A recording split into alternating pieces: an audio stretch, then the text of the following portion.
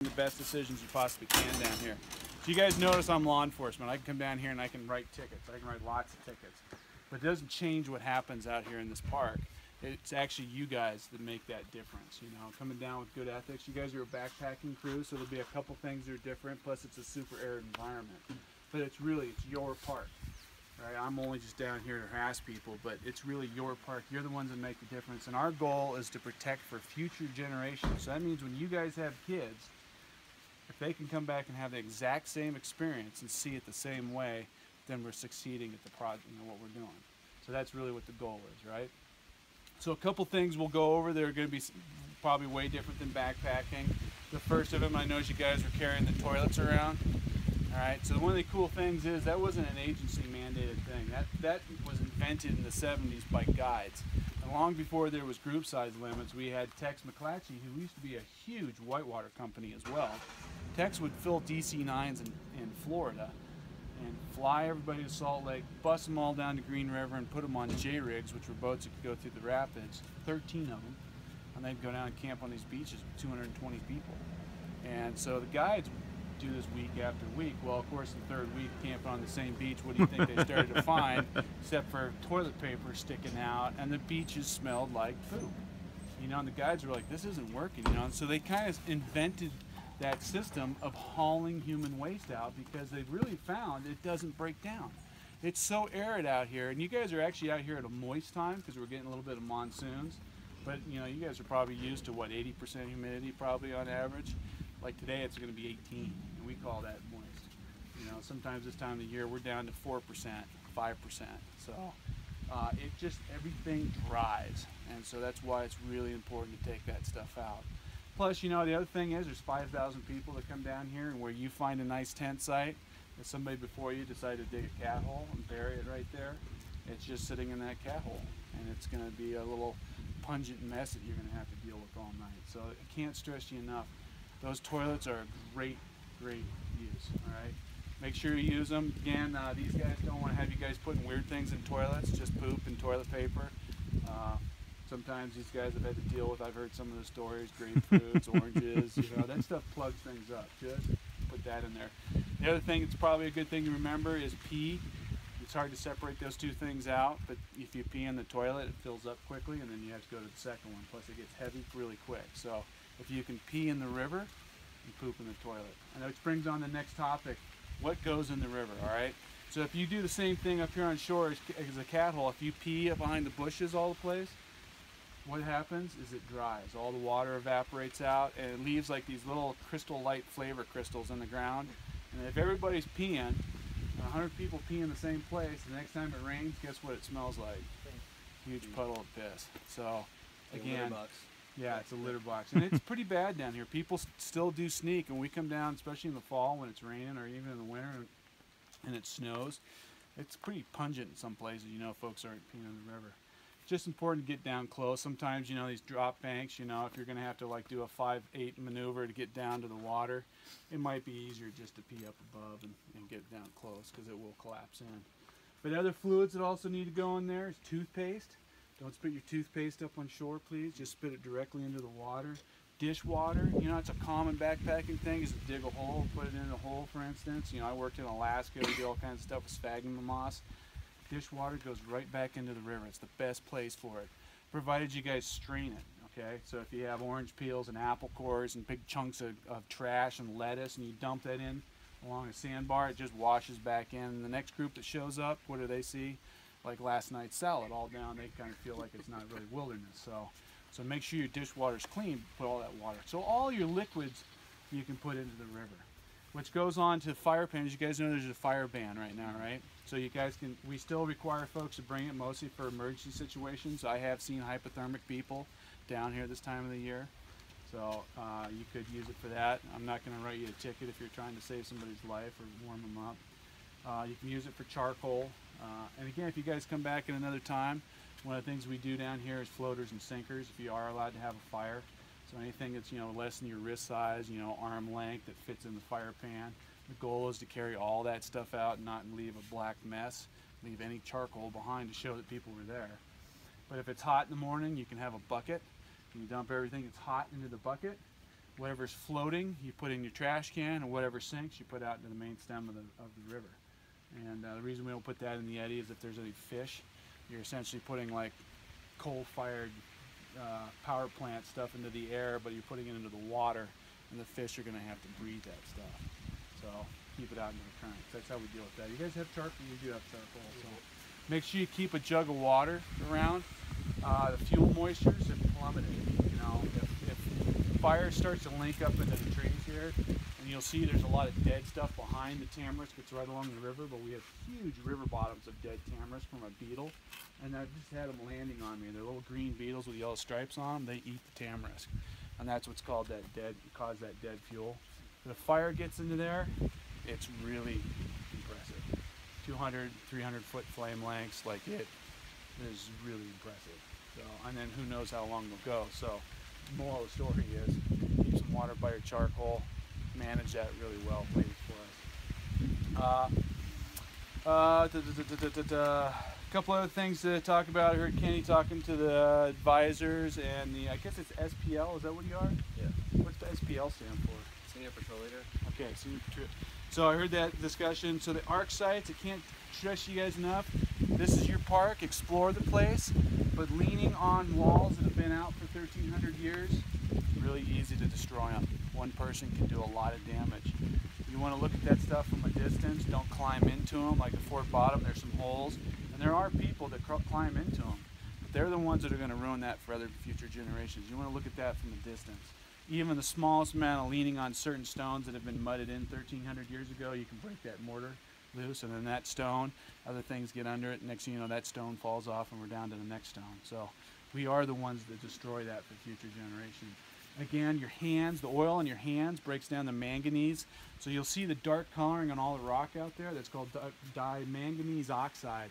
A lot of discussion about where that dark color comes from. Some people think it's an organic bacteria that lives in the rock surface that helps extrude the manganese that's naturally there. Some people think it's a water-based thing. Those surfaces of the, the, cliff actually get moist enough to cause it to leach out. Uh, it's probably a combination of both, but that's what that dark coloring is. And our oil breaks that down, causes it to exfoliate off. So if the uh, Native Americans have pecked into it with a petroglyph or drawn on it with paints, a pictograph, and you touch it, you cause that rock surface to fall off with that great writing. So again, don't touch, uh, and especially don't be carving your names. You know, and you get bored and you say, well, you know, Tony Tachi was here in 2017. Please don't do that. There are historic inscriptions down here, and obviously petroglyphs and pictographs are historic. Those are things that we want to look at, but we don't need to know about you guys being here. So please don't don't put that down there. Even the smallest places, if uh, if I was to put my name on a, a, rock face and next week somebody else would think it's okay and it's amazing how fast graffiti ruins our park and that's one of the things we battle a lot in other places so uh, arc sites try not to camp within 300 feet of them and that's the obvious stuff so when you guys are trying to pick camps out here that's where we shoot for a lot of the stuff we talked about I heard Ken talking about guide, guided you in the right spots uh, it's also the known sites the Anasazi most likely stayed right here 1,300 years ago to 1,100 years ago, but obviously, you know, this is a hardened surface, so it's what we know. Uh, uh, you, you might find some water in Water Canyon. Please don't swim in those side streams because that is actually water for all the bighorn and the, the, deer population, and we don't actually have that written in the permit. It's in our compendium now. Uh, again, right now it's so dry here, the deer and the sheep have moved down into the river corridor. And sheep are very fragile water source users, I would say. Uh, they're being displaced by wild burros and horses. So if we go up there and swim in those little side streams, they're not going to want to use that water. So uh, just check that stuff out from a distance. There's probably a lot of native toads that are actually a lot of tadpoles cruising around. So just check out the life in those pools. Same with Anderson Bottom. I think Kenny talked to you guys about if you need water, there's a pond uh, blasted pool up in a ledge up up above. Uh, great place, and I would treat everything out here. I used to drink it a long time ago, but I read some EPA reports. Yeah, I'd drink it. Not a bad idea, or treat it. Uh, do you guys have treatment stuff? You yeah. Mm-hmm. Pumps or chemical? Both. Chemical. Okay. I have both. Yeah, generally that's what our water folks in the state say is, you know, it's great to pump it, but then, you know, a little bit of treatment, Clorox or some type of chemical to get the viruses that go through the filters. Uh, you could have Norwalk that's actually living in the river presently. So happens in the Grand Canyon periodically, uh, thanks to the Park Service because we didn't treat our sewage very effectively in the dam, I guess. That's what caused the Thank two you. Big, the two big ones in Grand Canyon in the last 20 years. So, uh, other quick things to go over safety equipment. Some of this is state law, some of it's our law. But uh, five spare life jackets. There's 18 of you, so you guys need to have at least four spare life jackets. Uh, paddles, since you have nine canoes, you got to have one per three, so you just need to have three spare paddles. Uh, I'm not sure if these guys uh, Tex talk about using paddles for bollards to tie off. Not necessarily the greatest thing. That's usually one of the things when we, people lose canoes. They're like, "Yeah, we stuck our paddle in the sand and we tied off to it," and the paddle pulls out and the canoe's gone the next day. Because the river does do some weird things. So uh, if it rains really hard upstream, you can see a couple foot rise in this river. So be prepared for that stuff. And obviously dragging canoes up onto beaches and not securing them in the afternoon gusts of wind come by. I have seen Grumman canoes pitch poling up beaches before, which is pretty impressive. Right, I'll tell you that story someday. uh, camps, you know, try to make your camp as clean as possible when you guys leave. You might find that other people have left messes. People love to put huge bollards into the ground, you know, to tie canoes off, which is like a big piece of driftwood because they think, oh, this will be nice for other people. But really, what we shoot for is that sociological thought process. When you guys pull into a camp, it should look like Wilderness, like nobody's been there. That's the goal. And it should make you feel like, wow, this is a really amazing place. Versus if you see like a structure built out of driftwood or places to tie your canoes, it lets you know if other folks have been there. And that's really what we're trying to avoid. So if you guys see bollards, you guys can pull them out and you can always restore beaches back to a nice clean areas. And we got a lot of kids that love to build sand castles. And again, some people hate that. You know, it just depends. If you see somebody's sand castle, I'm not going to get mad at you for kicking it down and smoothing the beach out and making it look pristine again. Because the next people will thank you guys for that. Uh, getting a little bit lost. Uh, is everybody over 13? Yes. That's what I figured. Uh, so the main thing is, is do you guys know where the life jackets are required? I think you guys are Well, required to wear 'em all the BSA, we're time. required to wear them all the time. That's right. On So, but anyways, if, if uh, you guys were down here with your families below the confluence, it's required after that. So, uh, paddles, life jackets, first aid kit. What do you guys got for a first aid kit? You got a big troop. And that, we got a trooper say kit, and most of us have blue. Yeah, pin. most I of us can- have personal ones as well. Yeah, Where's that I'll probably just take a stuff? quick glance at it, and then uh, what are you guys doing for patch patch material? Just duct tape? Duct Yeah. tape, gorilla tape. Yeah, Gorilla Tape works great. I did a uh, cardboard boat for a boat race, and we dominated because we used Gorilla Tape.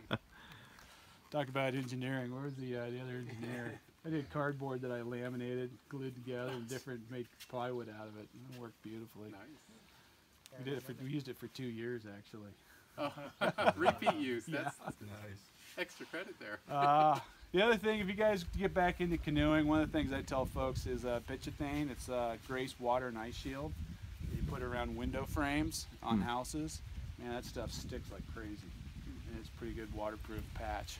Uh, if it gets really hot, it gets a little gooey in the ammo cans.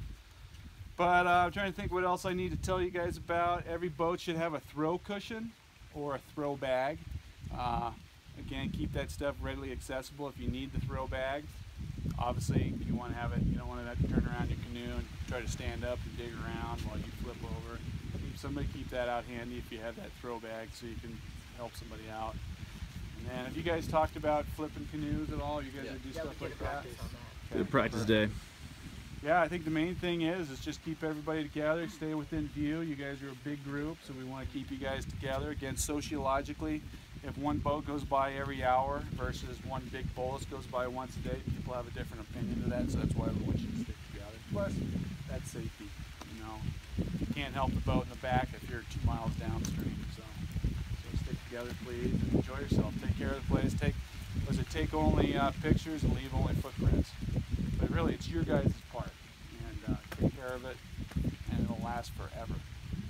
So it's up to you guys. Cool. Thanks, guys. Thank you. Drink water too, by the way. Yep.